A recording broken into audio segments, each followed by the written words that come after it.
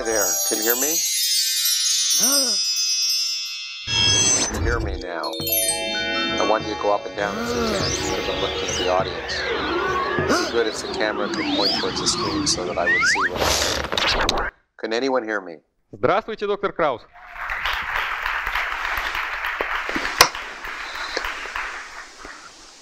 Well, thank you for the kind introduction.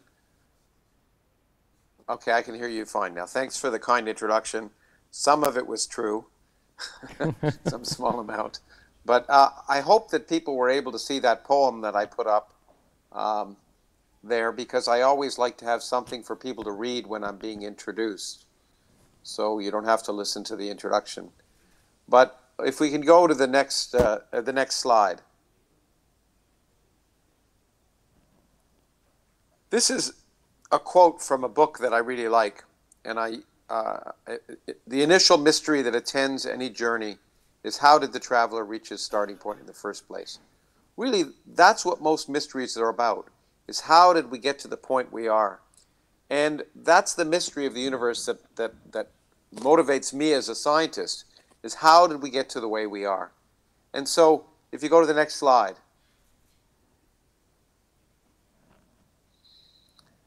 This is the way we are. This is a picture from the Hubble Space Telescope, one of the most recent Hubble Deep Field surveys of the universe. Every dot in that picture, every single dot in that picture is not a star, but a galaxy. Each galaxy contains perhaps 100 billion stars. And there are over 100 billion galaxies in the, the observable universe. And when you look around, not only do you feel small, as we heard at the beginning of the introduction, but the natural question is how did it all happen? And a question that's been around since really the dawn of civilization and has motiv motivated most of the religions of the world is the following question. If you go to the next slide.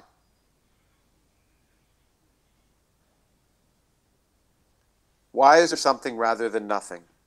Because surely it would seem that to create a universe with 100 billion galaxies, each containing 100 billion stars, something or someone has to create it. You can't get all of that for nothing without some supernatural being. And of course, what I want to tell you about today is, as far as we can see, that's not the case. There's no need for any supernatural nonsense. You can create a universe with 100 billion galaxies, 100 billion stars, for free using the laws of physics. So let's talk about the ways you can answer the question. Let's go to the next slide. You could start this way, in the beginning, which is the words in English for the, the way the, the uh, Judeo-Christian Bible begins. That purports to give a description of how everything was created, but of course it doesn't explain anything. It has fairy tales that don't explain anything. They just, it's a nice story, and for some people pretty to listen to, but it doesn't explain anything. If we really want to understand how we got here, we have to start exploring the universe out there, not the universe in our minds.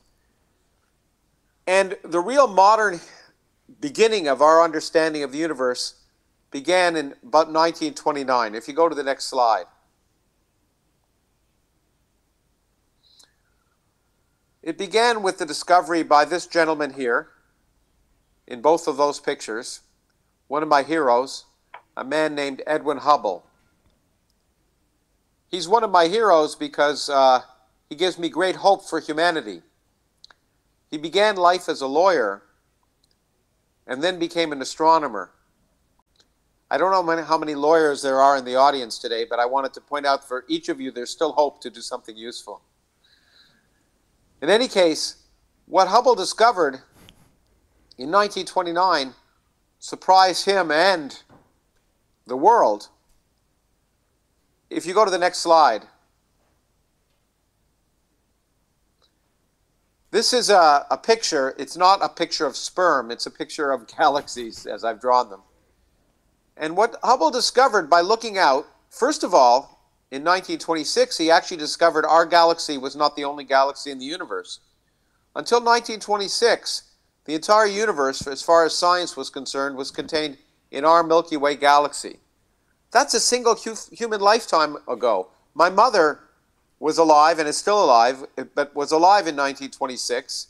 And before that, the entire universe was one single galaxy. Now we know there are 100 billion galaxies, so everything has changed.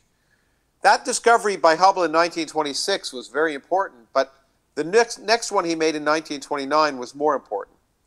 He discovered, much to his surprise, that when you look out at distant galaxies, on average, they're all moving away from us. And the galaxies that are twice as far away from us are moving twice as fast. And the ones that are three times as far away from us are moving three times as fast. And so on. This was a remarkable discovery. Now, when you look at this, the first thing that comes to your mind is well, it looks like we're the center of the universe, and everything is moving away from us. That's certainly what it feels like for most of us. Most of us feel on a daily basis like we're the center of the universe. But part of growing up is discovering that we're not the center of the universe. And part of the growing up of science was to discover that we're not the center of the universe here. The picture we see is only because we are located where we are, and the, if you want to see what it really means, you have to step outside of our universe, but most of us can't do that very easily. So, for your benefit, I've drawn a simple universe that we can step outside of. So, if you go to the next slide, I've drawn two universes here where I put a point where each galaxy is nice and uniform. And at one time, that region of the universe has a certain size, as you can see in the white circles. Each of the galaxies is located a certain distance apart. But oh, no, don't go next. Don't, don't go ahead of me here. Hold on. There we go. The next moment, you can see that uh, on the red, at a later time, the whole universe has expanded. Now, what would you see if you were on any given galaxy? So let's go to the next slide. Let's pick one galaxy. There, let's say we're at that galaxy. To see what you would see if you were sitting at that galaxy, what I have to do superimpose the second image on top of the first image, putting that galaxy on top of itself. So Let's go to the next slide. And I've done that, and what you can see is if you're sitting in that galaxy and you look out, you see exactly what Hubble saw. Everything is moving away from you, and the, and the galaxies that are twice as far away are moving twice as fast. They'd move twice as fast in that given time. Those that are three times as far away have moved three times as much in the given time. And you see exactly what Hubble saw. So what Hubble saw told what Hubble's observation tells us is that the universe is expanding. And it doesn't matter what galaxy you're sitting on, you see the same thing. Let's go to the next slide. Pick a different galaxy, the next slide. Take that one. Now the next slide. Again, from there, if you were sitting on that galaxy, you'd see exactly the same thing. And you'd see the same thing from every galaxy in the universe. So what Hubble discovered, much to his surprise, was that the universe was expanding. And this changed everything. Because until that point, until 1929, science thought the universe had been around forever, was static and eternal. But suddenly, we discovered the universe was expanding. And if that's the case, then we can work backwards and ask, what happened yesterday? Well, yesterday the universe was a little smaller, and the day before, and the day before. And we can work backwards, and we now know that about a little over 13.7 billion years ago, all of the galaxies we now see in our universe were together at a single point, a point we now call the Big Bang. That our universe had a finite beginning. And that changed everything. If our universe began, the next question is, how will it end? And if it's expanding, what will happen to that expansion? Will the expansion go on forever? Or will it stop one day? That, by the way, is the question that got me into cosmology as a physicist. It was the question I wanted to answer many years ago when I started out doing physics. What universe do we live in? Because I wanted to be the first person to know how the universe would end. It seemed like a good idea at the time. Now, to answer that question, we use physics. So if you can go to the next slide. It turns out one of the wonderful things that Einstein told us is that space is actually curved due to gravity. We, it's hard to picture it because, of course, you can't picture a curved three-dimensional universe. So I've drawn here curved two-dimensional universes, which we can picture. So these are not our universe, but they're two-dimensional images. But it turns out they represent very well the three possibilities for our universe. It turns out that the middle universe is a closed universe, in this case a two-dimensional sphere, but our universe could be a three-dimensional sphere. There could be enough stuff to cause space to curve in upon itself, and in such a closed universe, if you looked out very far in one direction, you'd see the back of your head, eventually. Light would go around the universe and come back to you.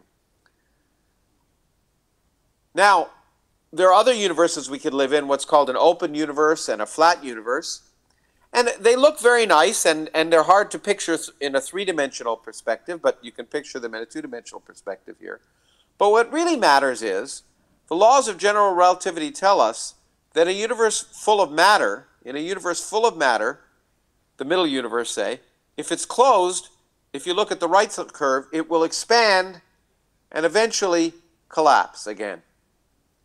An open universe will expand forever at a finite rate, as you can see from the top picture. And a flat universe will expand but slow down and eventually stop, but only after an infinite amount of time. So, if we could determine which universe we live in, an open, closed, or flat universe, we would be able to know the future. How do you determine whether er, we're in an open, closed, or flat universe? Well, the shape of the universe, the geometry of the universe, depends upon the total amount of stuff in it. If I don't have very much stuff, I'll live in an open universe. If I have a lot of stuff, space will close in on itself and I'll live in a closed universe. And the boundary between those two is an exactly flat universe. So all we have to do is weigh the universe and then we'll be able to know the future. And that's what got me into cosmology. Now, it's not so easy to weigh the universe, but in fact, I've written two whole books about it. But it turns out a picture is worth a thousand words. It turns out we've been able to weigh the universe. And to describe that, I want to go back in time a little bit. So if we can go to the next slide. I want to go back to 1936 to the science to the journal Science. Don't stop, stop, stop pressing the button. Okay, stop. Wait till I tell. No, stop. Go back. Okay. the journal Science, that's a very distinguished science journal, and there appeared an article, if you now make a click, just one click, an article appeared called Lens-like Action of a Star by the Deviation of Light in a Gravitational Field. It sounds like a very fancy, fancy word, uh, title. It doesn't tell you what it means. But then the abstract, I want to click and make the next click. Here was how the article was described. I find this so funny. It begins by saying, some time ago, R.W. Mandl paid me a visit and asked me to publish the results of a little calculation, which I had made at his request. This note complies with his wish. It was a kindler, gentler time back then, and I looked out at the audience earlier and I saw students, and some of you students will become scientists, and some of you will submit articles to the journal Science, and you'll be rejected. and you'll try again. But I guarantee you that if today you tried to submit an article that looked like that with that kind of abstract, it would never make it in. But that abstract was sent by a very distinguished scientist. If you make the next click yeah. It was submitted by Albert Einstein. And so they gave him a little leeway. And what Einstein, the article was about uh, something he had discovered, but he thought it was so unimportant he never even wanted to publish it. He discovered that if space is curved, then if you have a heavy object like a star and another object, a bright object behind that star, the light from that star will, will pass the, the, the intervening star and it'll be bent, it'll be curved, and it'll come back to you, and that star can act like a lens. And that lens can magnify things, just like my glasses do, or if I had a cut glass goblet, like if I look through this crystal here, I see many images of you. And so space itself can act like a lens. But he thought it was completely unimportant. And so he forgot about it. In fact, if you go if you make one more click, here was the calculation he published that Mr. Mandl asked him to publish. But it turned out, if you go back, that's from 1936. If you go back in his notebooks to 1914, if you make another click, please, you'll discover that there was the exact same calculation done in 1914, but he'd forgotten he'd done it because he thought it was so unimportant. And later on, he wrote, after the article was published, he wrote to the editor, and if you click again, please. He said, Let me thank you for your cooperation with the little publication which Mr. Mandl squeezed out of me. It is of little value, but it makes the poor guy happy. And that's how science is done. He thought it was unimportant. But that, but that phenomena of gravitational lensing turns out to be incredibly important because Einstein didn't know about galaxies. He thought about stars, and he said the stars will bend light by such a small amount we'll never ever see it. But in fact, galaxies could do something very different. And if, let's go to the next slide. This is a picture of the phenomena that Einstein described, which he thought would never be observed. If you look here, every, every dot in this image again is a galaxy, not a star. This is a cluster of galaxies. All the yellow dots, big, big dots, are a cluster of galaxies. Almost all galaxies live in clusters. The distance from one end of this image to the other is about 10 million light years across. 10 million light years. It light, takes light 10 million years to travel across that. But there are many galaxies in that cluster. There's a lot of mass. Now, you don't have to be a rocket scientist to see in that picture there are images of these faint blue objects, many different blue objects on the lower part and the upper part. They're, they're, they're squeezed out. It turns out those are multiple images of a single galaxy located 5 billion light years behind that cluster. We would never even be able to see that galaxy except the light from that galaxy was lensed and it was magnified and it was stretched and many different images of the same galaxy are now seen. All those different images are the same object and we're seeing them because they've passed through that ga intervening galaxy and the light has been lensed and magnified and twisted. And, and it's an amazing image of exactly what Einstein predicted. But what's more interesting is we can use the general relativity to say, well, how much mass is in that intervening galaxy and how is it distributed in order to see that image, in order to reproduce that image? It's a very complicated mathematical problem. It's called a mathematical inversion, but you can do it. And in the late 1990s, uh, uh, physicists at then Bell Laboratories in the United States did that. And let's go to the next image.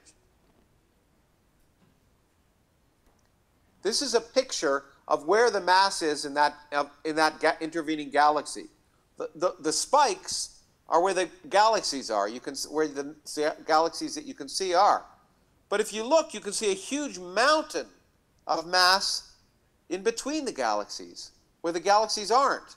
And around each galaxy, you can see another mountain of, of mass. Around this, each spike, you can see a mountain of mass. It turns out there's 40 times as much matter in that image as you can see with your eye. There's 40 times as much matter as can be accounted by visible galaxies. Most of the mass of that cluster is invisible. It doesn't shine. And for that reason, physicists, when, they, when we've discovered that, call that material dark matter. And what we've discovered is that every galaxy, 10 times as much mass as invisible light, exists in this dark matter. Every galaxy is dominated by dark matter. And if there's so much of it, we have now realized that there's no way it can be made up of normal things like protons and neutrons, the stuff that makes up you and me. We believe it's made of some new type of elementary particle, something we wouldn't see here on Earth. And what's very exciting is if that's the case, the dark matter that dominates the mass of the universe is not just out there in the cosmos, it's right in this room. It's right in the room where you're sitting as you fall asleep while I'm talking. And that means we can build experiments here on Earth to look for it. For example, go to the next slide. Here's one type of experiment that actually I proposed many years ago. and it's being done in deep mines under uh, underground all around the world. All you have this, this what what is pictured there is a silicon block, the same kind of thing. Actually, that's germanium, the same kind of thing that that makes up computer chips in the computers that run your phones and your computers. All you have to do is cool that little block down to one one thousandth of a degree above absolute zero. And then dark matter particles are streaming through this room and through that detector. And every now and then, most of the dark matter particles will go right through the Earth without even knowing it was there.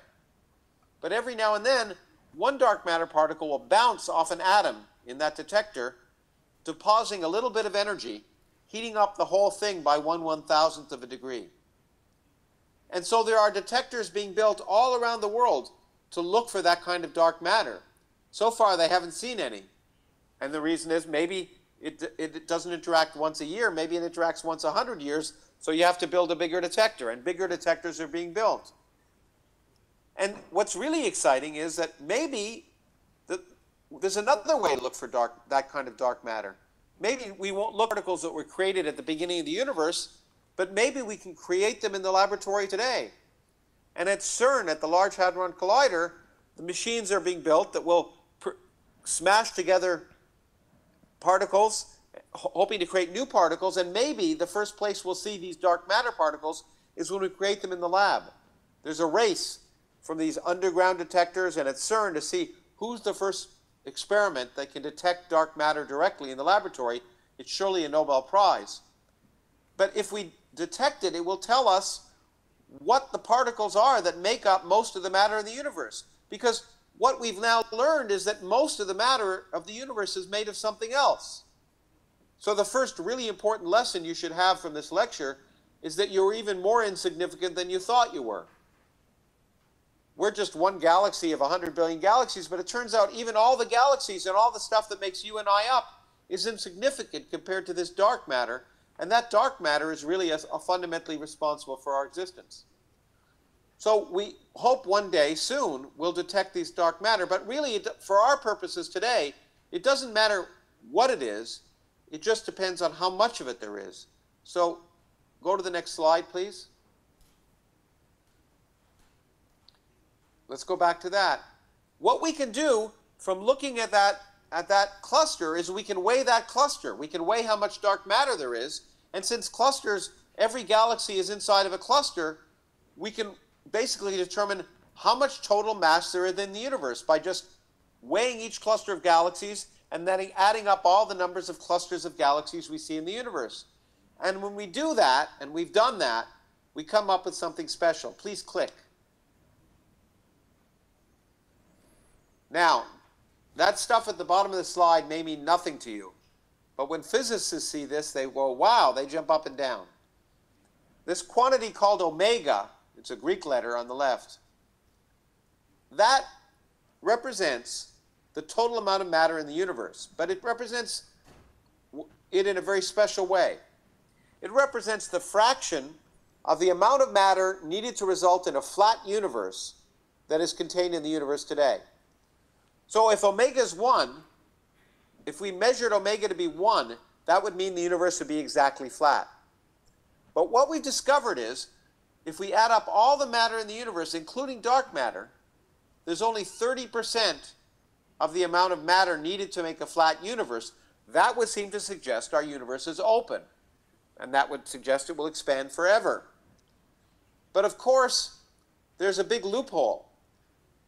This is just the matter around galaxies. What about the matter away from galaxies? How can we measure that? We can't, we can't measure it by using galaxies as probes. Well, we can actually try and measure the geometry of the universe directly. And I want to talk about that for a few minutes. So next slide.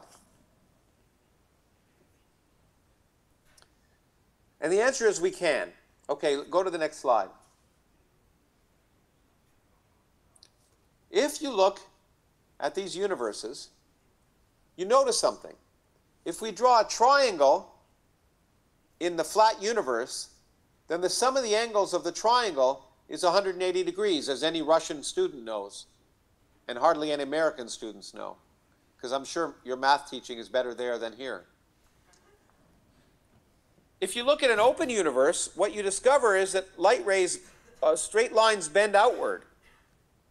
And the sum of the angles in a triangle is less than 180 degrees. And in a closed universe, the sum of the, the, the ang- light rays bend inwards, and if you look at it, the sum of the angles will be greater than 180 degrees. So if we could just draw a big enough triangle and measure the, the angles, we could measure the geometry of the universe directly. Let's go to the next slide. Well, to do that, you have to take a big picture of the universe. And this is the biggest picture of the universe we have. This is something called the cosmic microwave background radiation.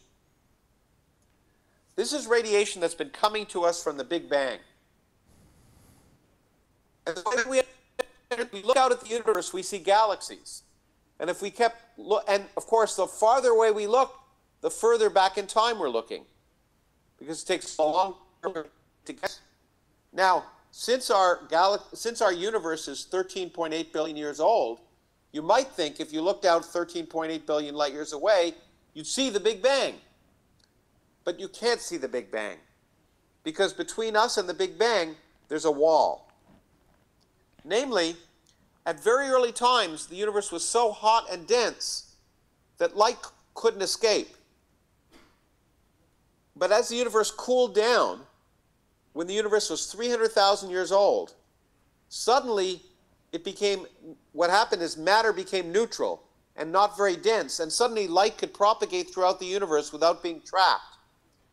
And when we look out, Sorry, I can't search the web on eh, Apple. when we look out at the universe, when we look back in time, we look back at time, and the farthest we can see is that moment when the universe first became transparent.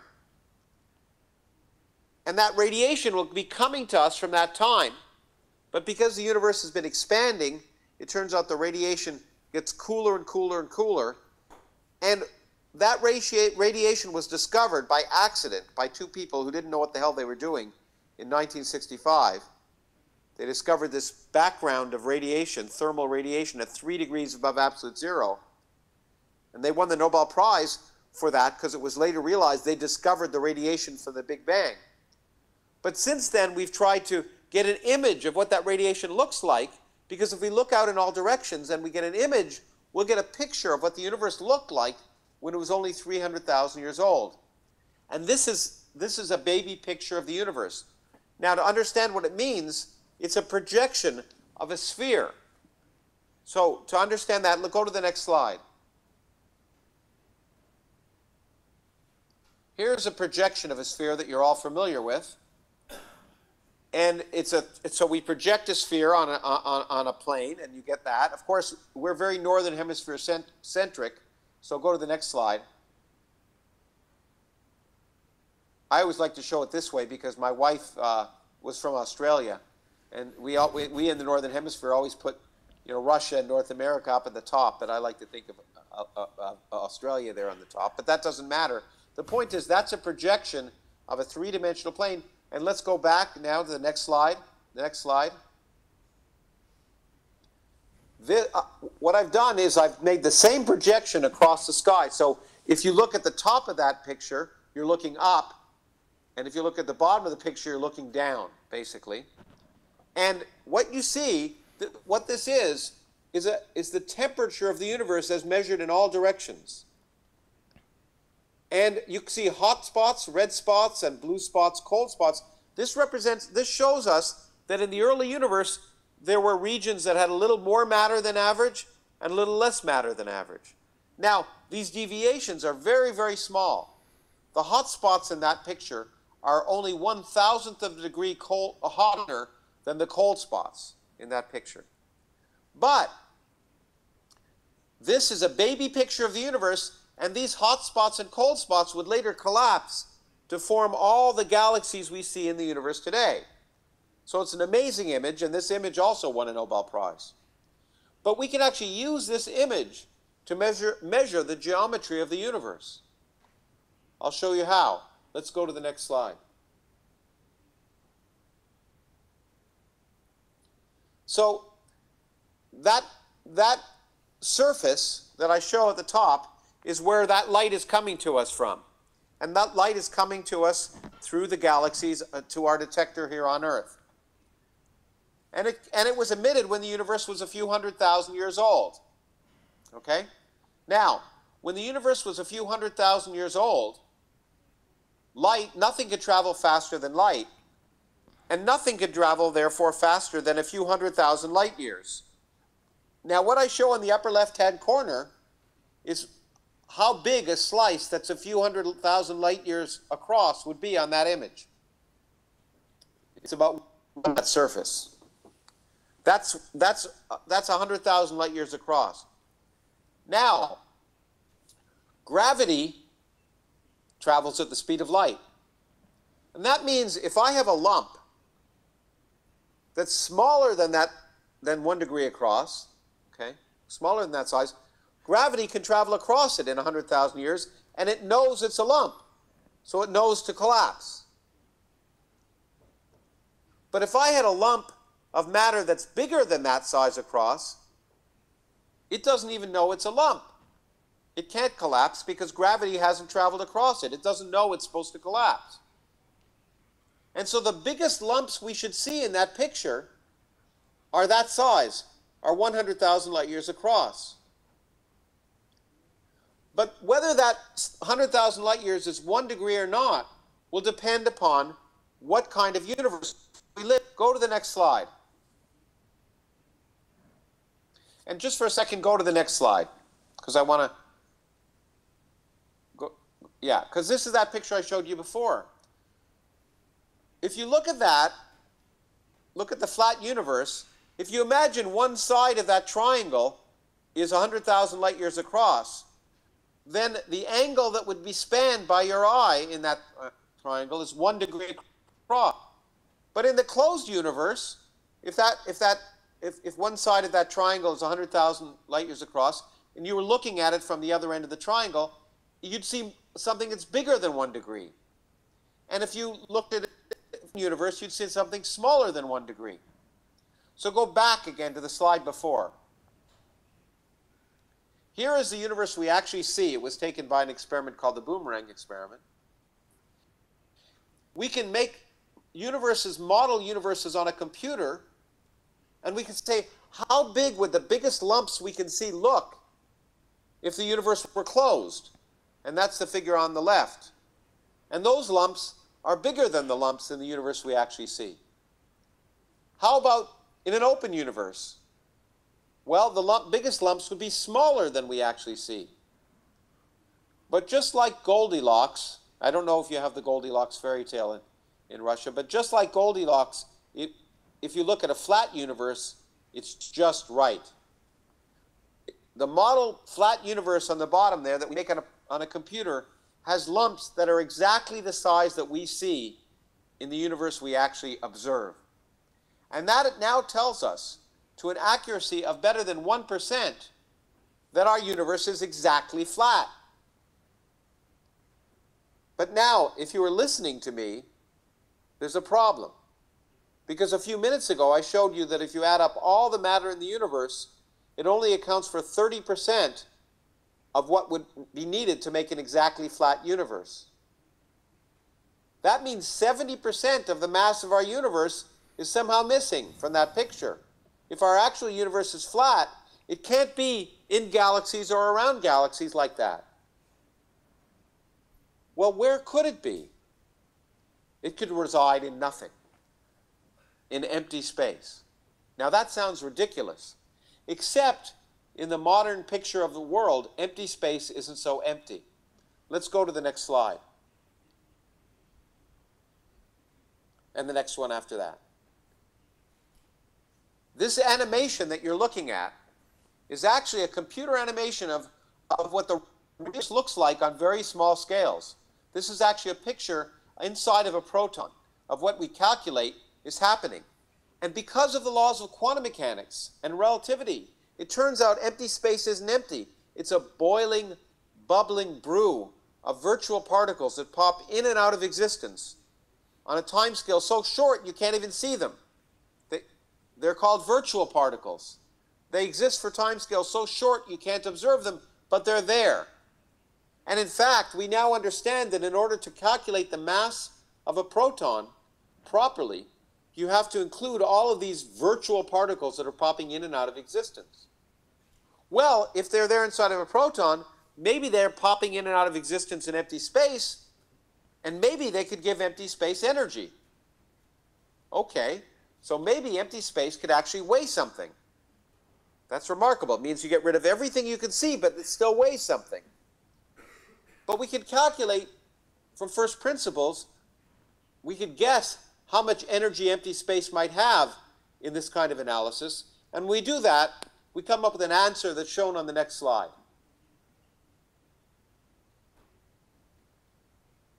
We come up with an answer that the energy of empty space should be roughly a gazillion times the energy of everything we see in the universe. And we know that can't be the case.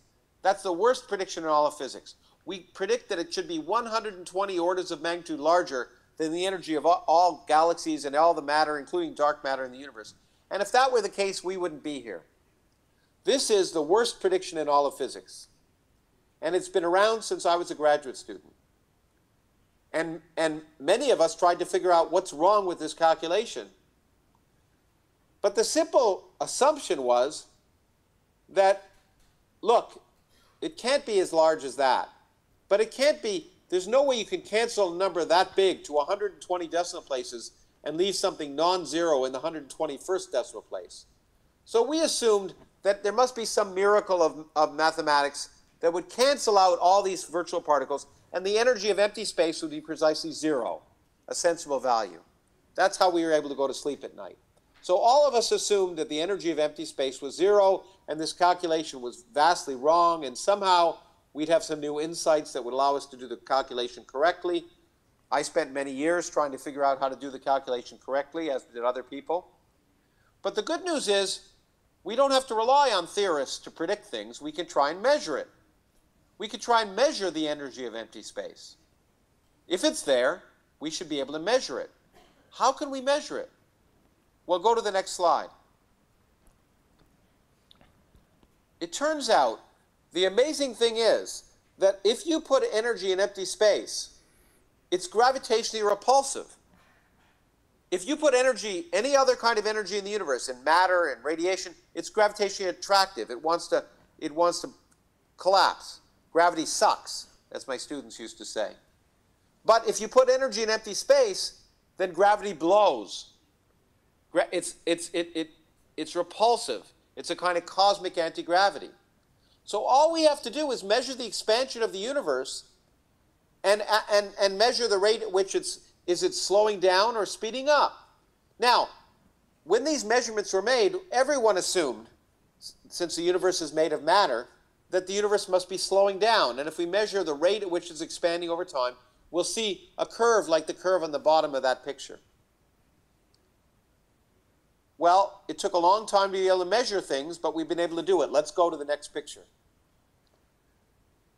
This is the picture that Hubble first got in 1929 when he measured the velocity of galaxies versus their distance.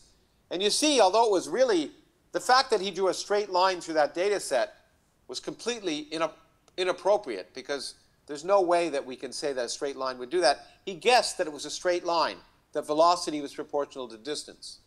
He actually got the answer a factor of 10 wrong, and that was quite interesting. But I won't go into that. I'll, I'll talk about that in the question period if you want. But that was back then, and we've been able to do much better. The problem is these are only nearby galaxies.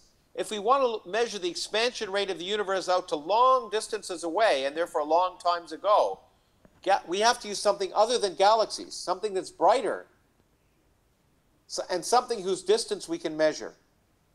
And in the last 20 years, we've been able to find such an object. Let's go to the next slide.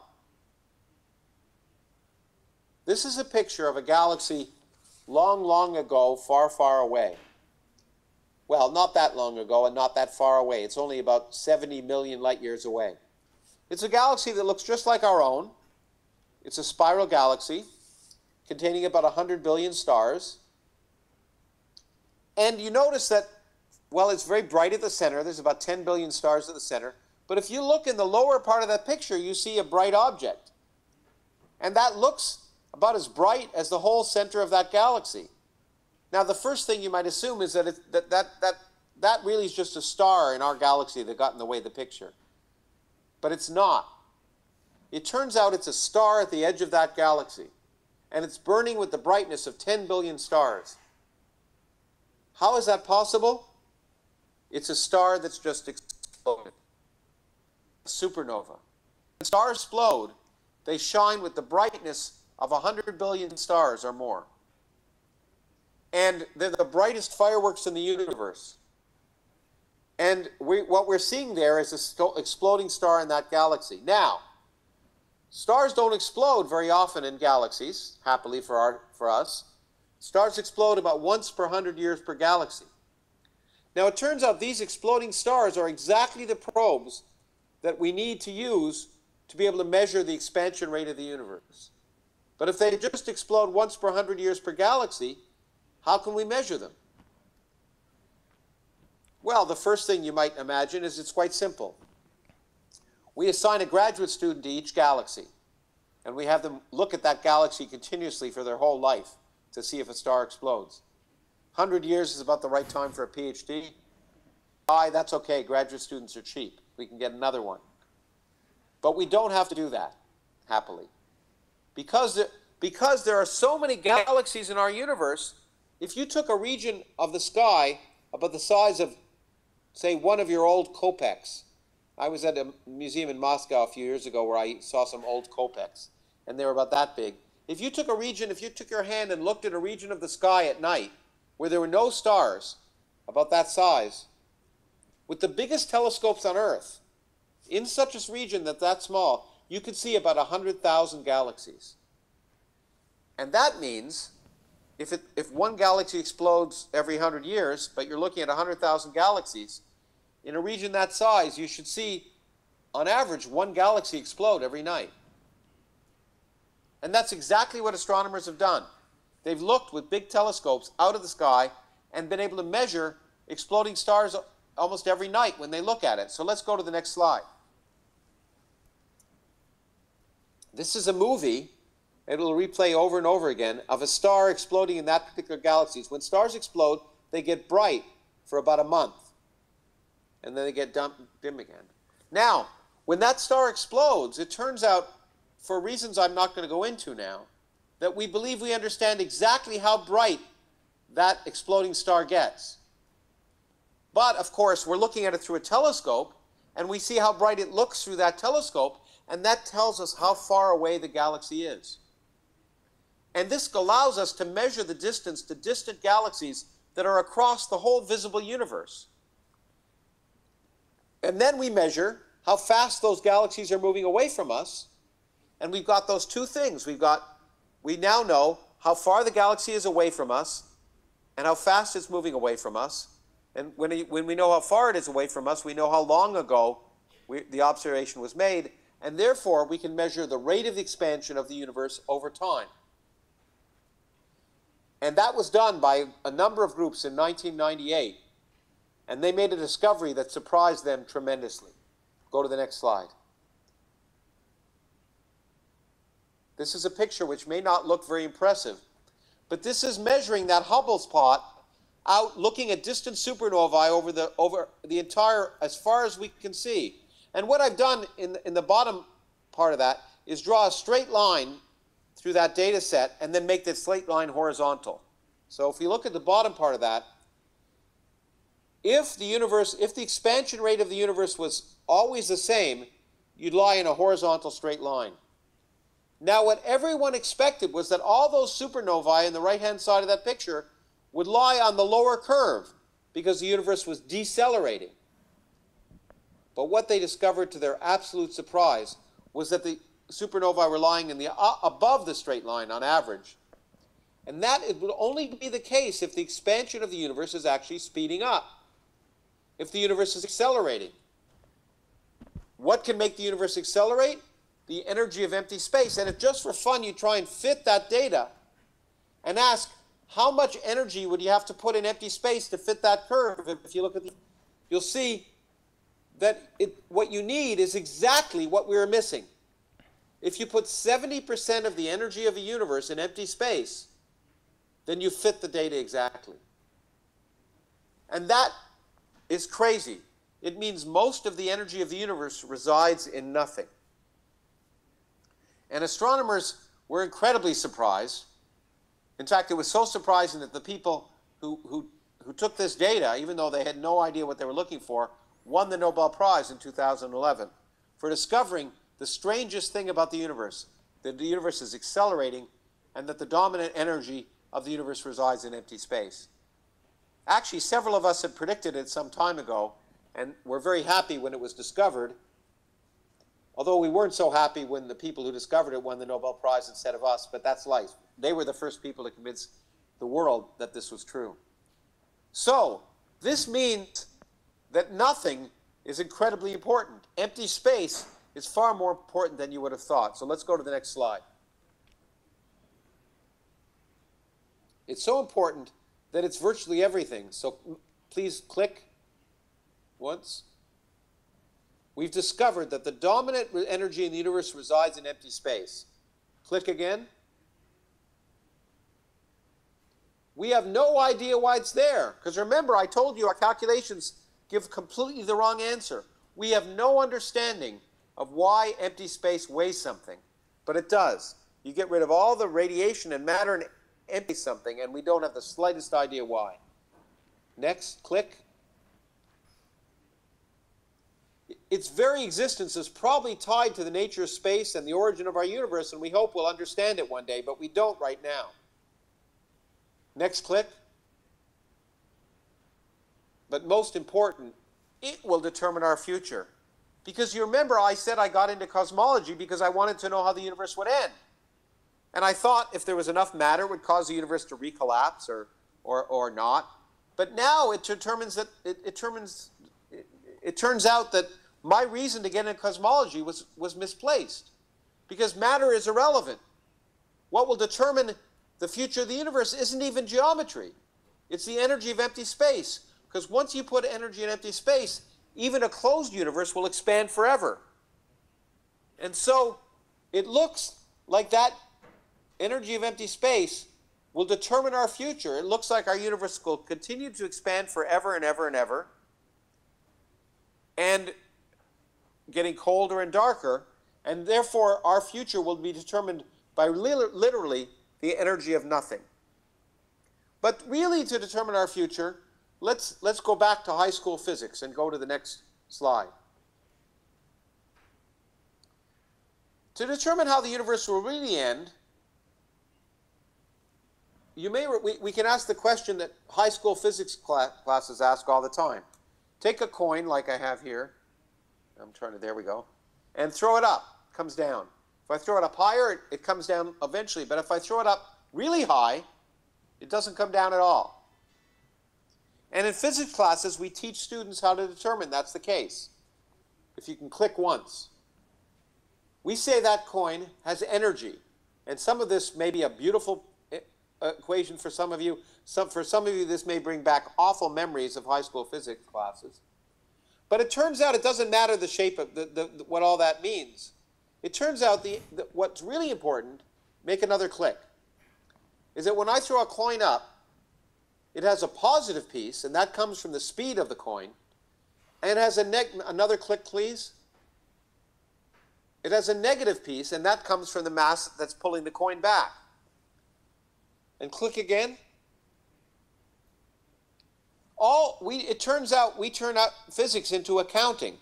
Because if we add up the energy of that coin and add up the positive piece and the negative piece, if it's positive, if the total energy is positive, the coin will escape. If the total energy is negative, the coin will come back to Earth.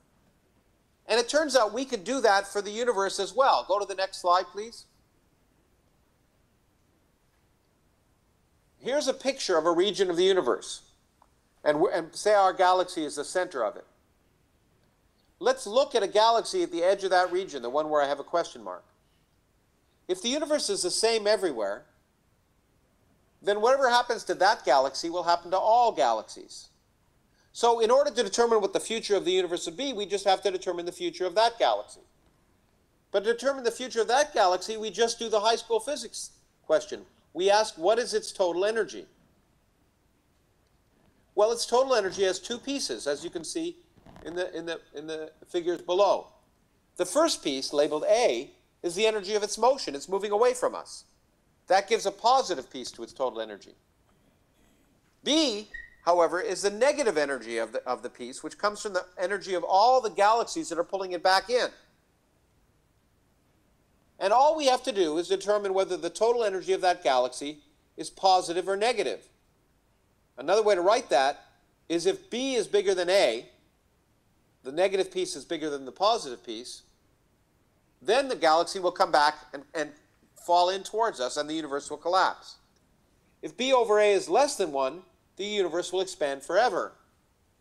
And it turns out, amazingly, that this ratio, B over A, is exactly the quantity omega that I talked about earlier. And we've already measured omega, and we've measured omega now to be exactly 1, because we live in a flat universe. And if, we, if, if omega is exactly 1, then B is exactly equal to A. And if B is exactly equal to A, the positive energy of every galaxy is exactly canceled by the negative energy of every galaxy. The total energy of every galaxy, the gravitational energy, is precisely zero. And therefore, if we live in a flat universe, we live in a universe where the total ener gravitational energy of every object, the gravitational energy, the classical Newtonian gravitational of every object, is zero. And that suggests something very important. If you were going to create a universe from nothing, what would you make the total energy of every galaxy? Zero. It suggests that it's possible to have the ultimate free lunch. Because gravity has a positive piece and a negative piece, it's possible to have a universe with zero total energy that still has a lot of stuff in it. So now, as we think about a possible universe from nothing, that's our picture of the universe as we understand it. Now let's think about the implications of that in the last few minutes. You'll be pleased to know the last few minutes of this talk. Let's go to the next slide. There are many different kinds of nothing.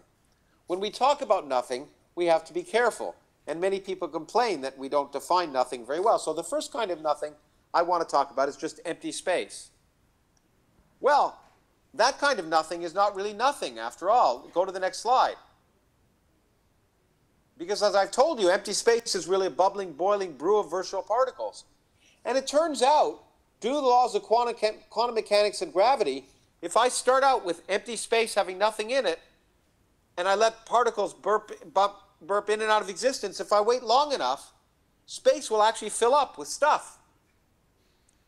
So it's you you, if you ask how can we get something from nothing, the answer is we always will if we wait long enough. In a universe of empty space, if we wait long enough, the laws of quantum mechanics will eventually produce real particles. So empty space isn't empty. In that kind of universe, it's really easy to make something from nothing. But you might say, okay, well, that's not nothing because you still have empty space.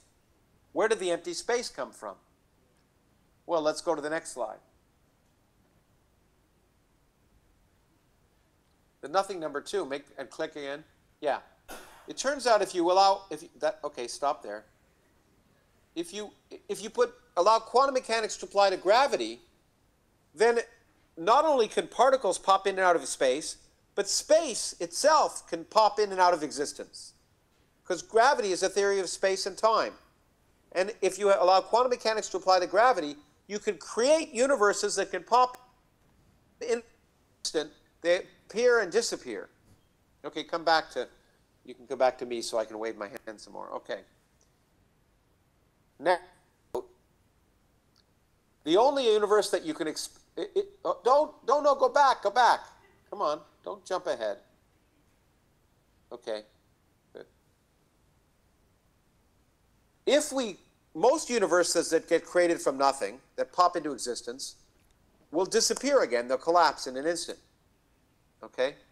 The only ones that universes that could spontaneously appear and continue to appear forever that are ones that have zero total energy. Because if you start with nothing and have zero energy, the only thing that can survive for forever is something as universe you could create spontaneously from nothing is one that has zero total energy. Well, it turns out the only kind of universe that we know has zero total energy is a closed universe. Well, that seems to be a problem. Go to the next slide.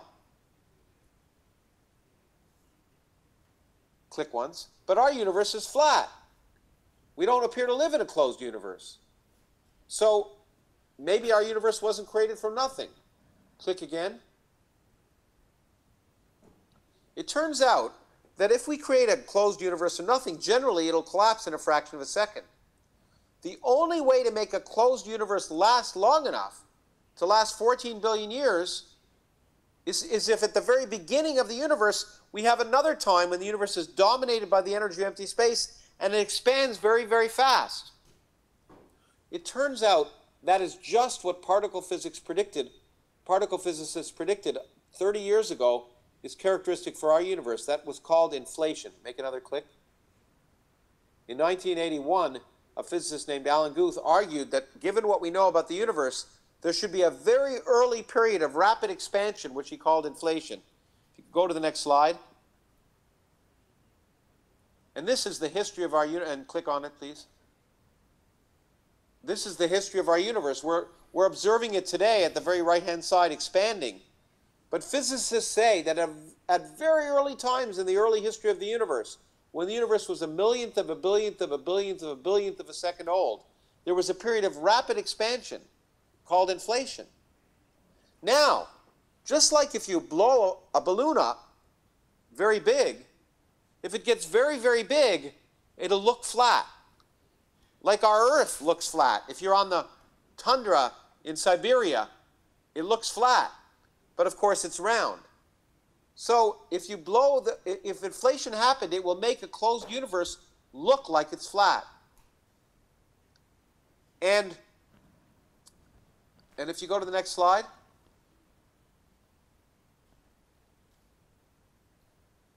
Okay, uh, let's see. Go back a second before I hypnotize you. Go back, please. It turns out the, that, therefore, the only universe we, that, that, that we would expect to have that could be created from nothing, that would survive for 14 billion years, is a universe that had an early period of inflation. And if it had an early period of inflation, then it would look flat. So the only we would expect to be able to see that could be created nothing would look flat today, just like our universe. Well, that's a story but how do we know if inflation really happened? It turns out there may be a way to measure it in your lifetime, in my lifetime. And now I'll go to click on this slide.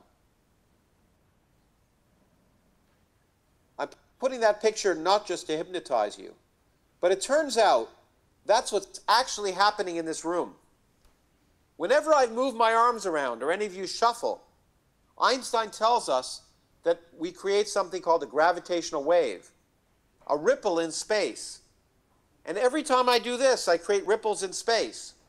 Einstein predicted them in 1916, and as and and they've been around. We've we've know that they're there, but gravity is so weak, we never thought we'd be able to detect them. Click again. When I make a when I wave my arms, I create a gravitational wave going out at the speed of light, and it causes space to literally expand and contract. And in the room in which you're sitting, that's happening all the time. But the ripples are so small that you don't even notice them. I mean, you may think the room is expanding and contracting if you have too much vodka last night, but assuming you didn't, the room seems a, a reason. The room seems like a constant size, but it's actually expanding and contracting all the time. And we never thought we'd be able to measure it. But some bold physicists decided they'd try. And go to the next slide. This is the LIGO Gravitational Wave Observatory.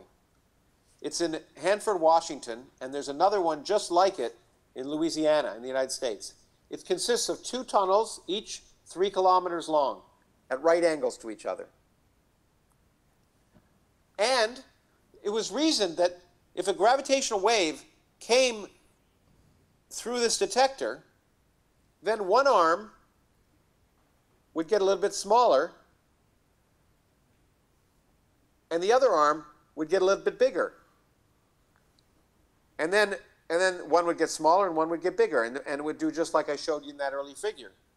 The problem is the amount by which it would, the length of these tunnel arms would change is minuscule. Gravitational waves are very weak, and to get a strong gravitational wave, you have to get a strong, violent event. What's the most violent event we know happening in the universe today? When two massive black holes, each more massive than the sun, collide.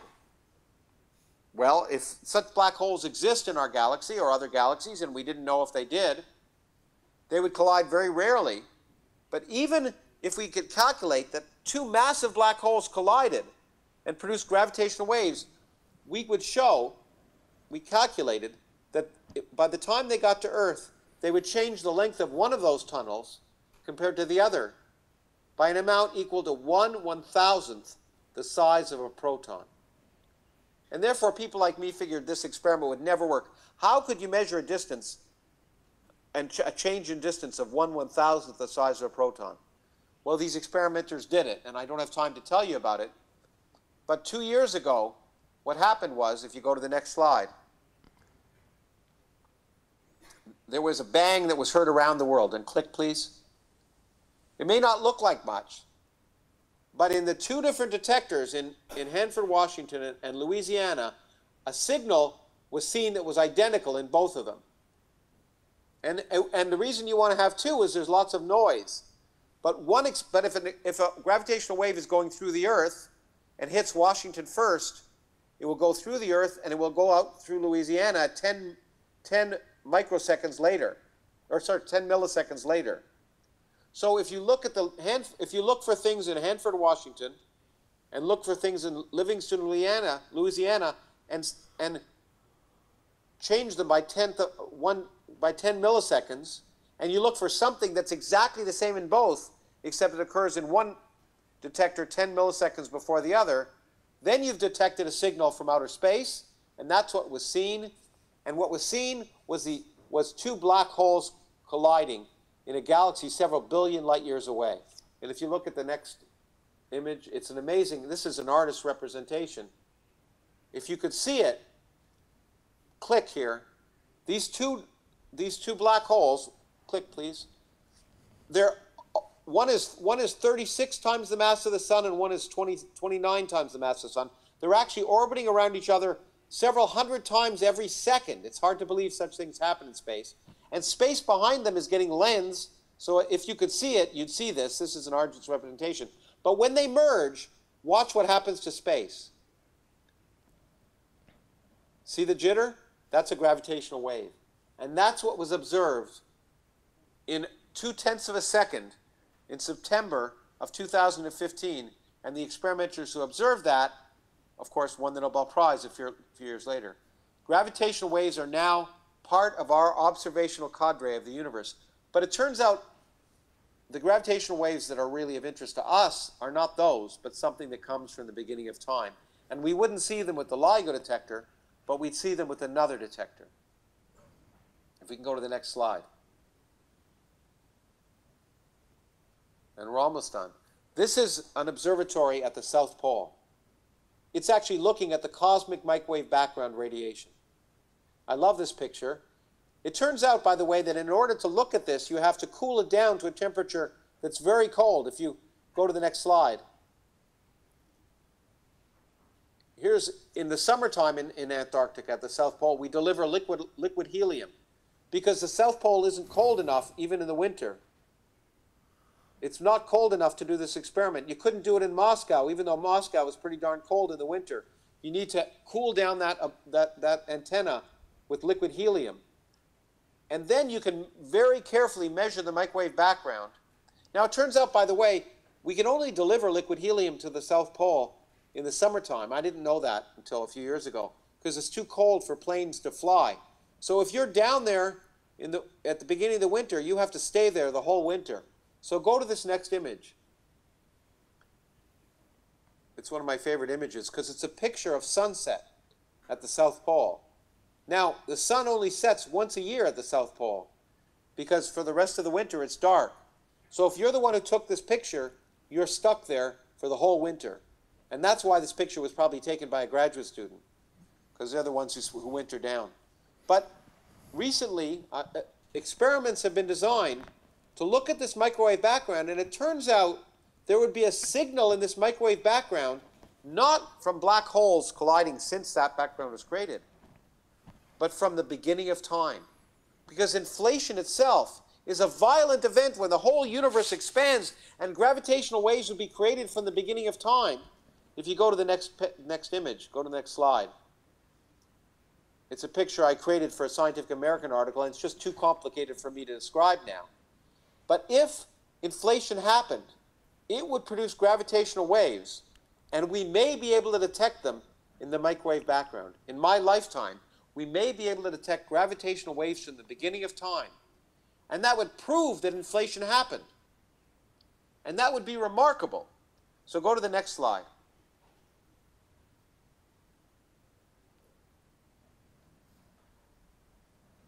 Click on it. As I said to you earlier, inflation will force the universe to appear flatter. And click again. And thus, the only universe that can have been created from nothing and survive this long is one that looks flat, just like the universe we live in. And therefore, if we, if we observe the universe to be flat, which we have, and if we can show inflation happened, it would validate the notion that our universe could easily be created from absolutely nothing. It's the ultimate free lunch. You start with no space, you create space, Inflation happens and it produces the universe we see without any supernatural shenanigans. And I find, now this, we haven't proved this to be the case, but it's plausible. And I find that plausibility remarkable because anytime you can get rid of a vague claim of the supernatural and God and show that simple laws of physics can produce the same thing, we've progressed. Now, some people will say, that that kind of nothing, a universe with no space and no time suddenly appearing and then producing a universe with a hundred billion galaxies, that kind of nothing is not nothing because there's still laws of physics. So let's go to the next slide. But maybe even the law click on the click on that slide. But maybe even the laws of physics are accidental. Because go to the next slide. Because are you, next slide, please. Our universe was, as I, looks like it was created in that inflationary event, but it turns out other universes could be maybe being created by inflation right now in spaces we can't even see. And it turns out, after inflation ends in each universe, the laws of physics could be different in each universe. And then the laws of physics in our universe might just be an accident. And there could be some universes in which the laws of physics are such that no galaxies are created. And then there are universes in which the laws of physics are such that galaxies would be created. And we can ask ourselves, which universe would we live in? Well, obviously, we're in the universe in which galaxies were created. So the laws of physics that we see may not be fundamental, they could just be an accident of our existence. And then the laws of physics are accidental, and all the different kinds of laws of physics occur, and they are just what they are because we happen, happen to live in the universe in which we live. That could be the case. And some people don't like that, but the wonderful thing about our universe is it doesn't give a damn, damn about what we like and what we don't like. So, what I'm saying is that ultimately every different type of nothing is possible, and something can come from it. Material can come from empty space, Universes can be created from nothing, and even the laws of physics can spontaneously appear when our universe appears. So go to the next slide.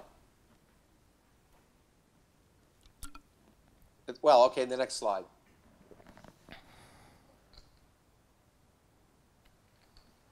In a way, this is answering Einstein's question. He once Einstein once gave a quote, and if you click, please. He said, "What really interests me is whether God had any choice in the creation of the universe. And by God, he didn't mean God. Unfortunately, a lot of people think he was religious, but he wasn't. But what he really meant here was are the laws of physics unique? If you twiddled one dial in the laws of physics, would our universe disappear? Or could the laws of physics be anything and any possible universe could exist? And what's amazing is we're on the threshold of answering Einstein's question. Because if we measure that inflation happened, we will know that potentially other universes could exist, and that there may be other laws of physics, and that the laws of physics in our universe is an accident. And once again, God is irrelevant because every different kind of laws of physics exists. You don't need God to create them, and you certainly don't need God to create a universe. So, next slide.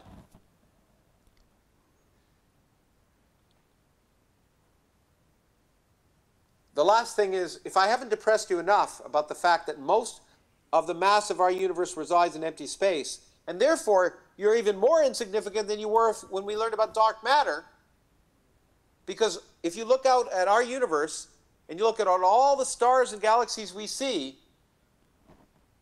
1% of the total energy of the universe. You get, and everything we see and the universe would be largely the same. We're an insignificant bit of noise of pollution in a universe made of dark matter and dark energy. We are irrelevant. So, so much for a universe made for us. But it's even worse. Now that we know the universe is dominated by dark energy, we can think of the future. Go to the next slide. And the future is miserable. It's one of the last things I wanted to tell you. The first moral of this talk is that you are insignificant, and the second is that the future is miserable. Click, please. George Orwell, who wrote the book 1984, said to see what is in front of one's nose requires a constant struggle.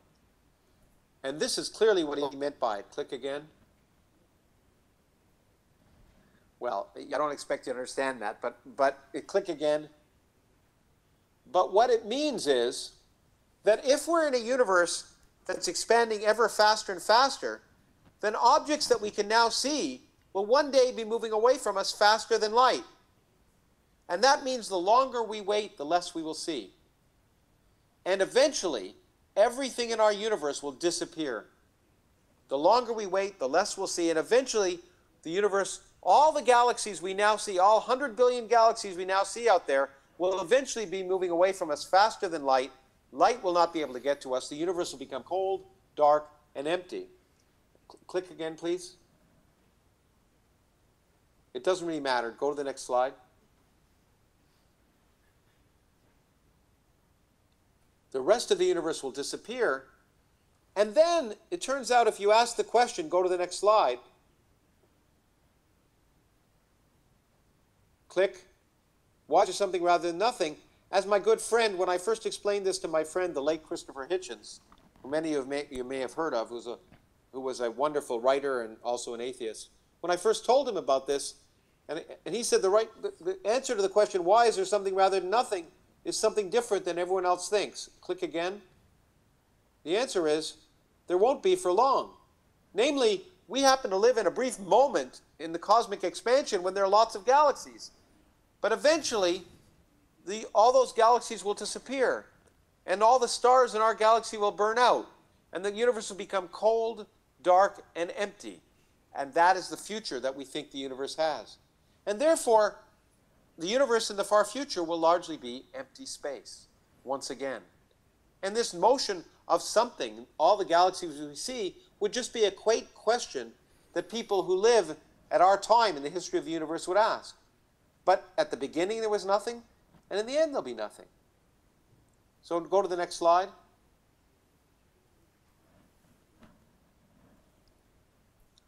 The question, why is there something rather than nothing, may not be the interesting question then. The interesting question, if you go to the next slide, rather is, can we understand how from nothing we get to this amazing universe with 100 billion galaxies, 100 billion stars? And the fact that we've come this far, if you go to the next slide, to me represents humanity at its best. We have been willing to throw aside dogma and superstition and recognize that we may be insignificant and there may be no purpose to the universe, but we shouldn't be depressed. Go to the next slide.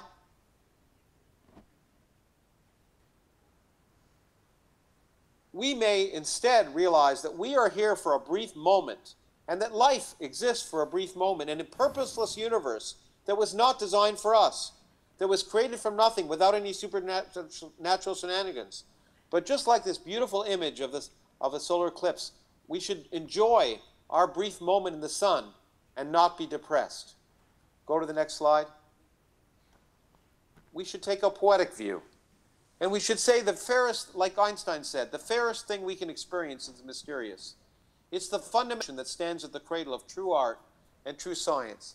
And we have this cosmic mystery we're trying to solve. We don't know for sure that inflation happened, but it's plausible. And we are trying to find out, and we're willing to accept any answer, and we're willing to accept a universe, a miserable, cold, dark universe in which we are insignificant. Because, as once I said before, the universe doesn't care about us. We make our own meaning. And I urge each of you to make your own meaning and enjoy the universe for the way it is, whether we like it or not. Thank you very much. Спасибо. Okay, thank you.